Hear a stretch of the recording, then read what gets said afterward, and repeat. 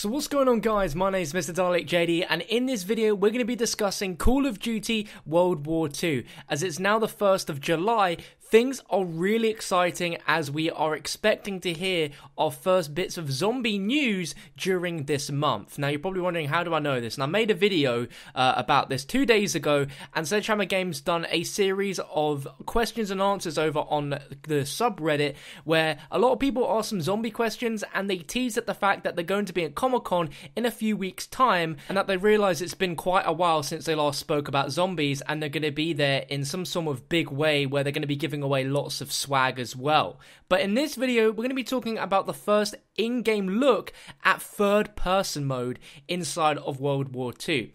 Now, just before this AMA went live on Reddit, about two days prior, Michael Condrey from Sledgehammer Games posted this video on their social media.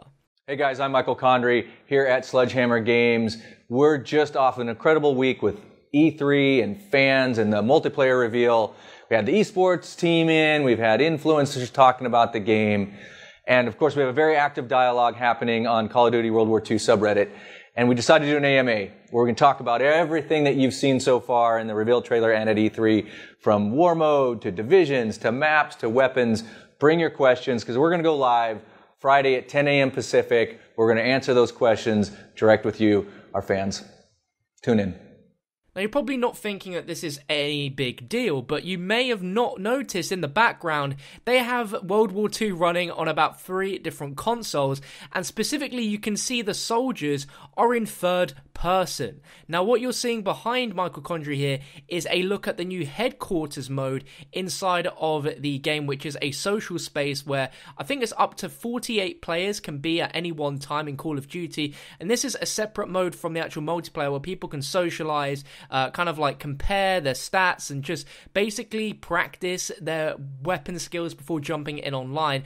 And there even is a 1v1 section where you can see these two characters sort of near the firing range. There's like a sort of little pit where you can 1v1, which sounds really awesome. But what's interesting is we now know that this is entirely in third person. Now, the only things we know about zombies is that it's going to be very dark and gritty and it's going to follow their Dead Space signature. This has been spoken about a little bit and rumored before, but this is our first look at third person in World War II, and this could also give us a tiny glimpse of what we could expect from zombies during its time in World War II, seeing as it has the Dead Space signature. Now, what you're watching on screen is some gameplay of Dead Space 3, which I recorded on PC just before making this video, and this is the last game that Sledgehammer Games made before they went on to work on Advanced Warfare. So this is the sort of thing that they grew very used to and they loved, which was the third person horror scary genre of games. Now,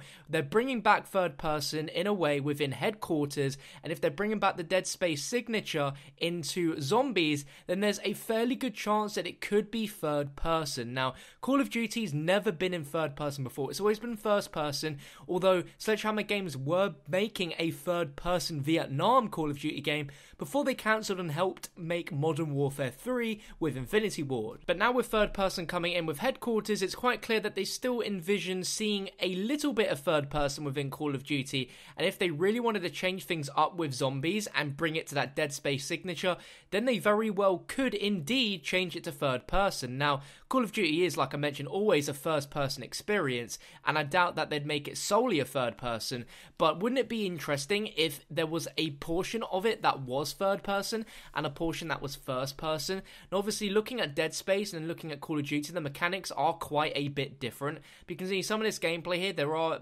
moments where I'm sprinting, where you're crouching behind cover and aiming over cover. How interesting would that be to fight zombies? And rather than it be just the simple uh, round by round scenario that we've gotten used to, if they really switched up the formula and made it really horrifying and almost campaign like, whilst almost having an objective and perhaps a round based mode as well to throw in. I just feel like with the amount of time that Sledgehammer Games have had to really hone in on their third person mode that they've always envisioned in Call of Duty and they're having it in headquarters, they're having the Dead Space signature on zombies, and if they really wanted to change things up within zombies, then it could be third person. We really don't know. All they've mentioned is that their new mode is an entirely new story and a new horrifying experience. If they wanted to change the style of gameplay up completely, then third person would be the exact way to go about things. Could you imagine how insane this sort of Nazi zombies vibe could be if there was no round counter? and you were able to free roam around in various areas. Just imagine how sick that would be, rather than it be just this one constricted level where you have to buy doors in order to progress through. Imagine if it was an open area where there was different objectives in certain parts of the maps and there's an ever arcing storyline which is affected by what you do within these levels. It just it, I, I don't even know. They could just go down the normal typical way because it's simple, but I feel like they learned from their mistakes in Exo Zombies and how, you know, it was the simple Treyarch formula and in a way it did work, but of course the Exos ruined things and I think they're definitely going to get things right here. The fact that they've managed to make such an amazing series of horror games and they're claiming that this will have their Dead Space signature, it rings good bells for me. And like I mentioned, they're teasing about Comic Con, which is going to be between July 19th and July 23rd. As soon as we hear more news, which I assume we will do via the form of maybe teasers or a formal announcement from Sledgehammer Games about what exactly is happening with zombies at Comic Con, I'll be sure to update you guys with a video. But there you go, guys. Our first look at third person in Call of Duty World War II. Could it transfer over into other modes like zombies? Let me know if you'd be interested in seeing that down below in the comment section. But if you enjoyed the video, make sure to drop it a like rating. Marco Condrey obviously had this on screen because he wanted us to notice that this was in third person. This is like a massive deal. But thank you so much for watching. You've been amazing. Make sure to hit that subscribe button to keep yourself updated, and I'll catch you guys next time.